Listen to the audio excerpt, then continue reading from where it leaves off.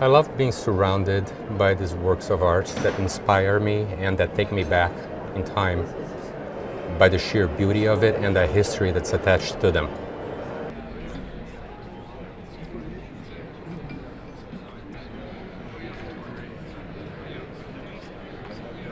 Well, the economy has uh, affected the art market overall, especially American buyers who have had their hands in their pockets for the last few years. It does seem to be getting better now, but certainly 2009, 2010, and into 2011, it, it slowed down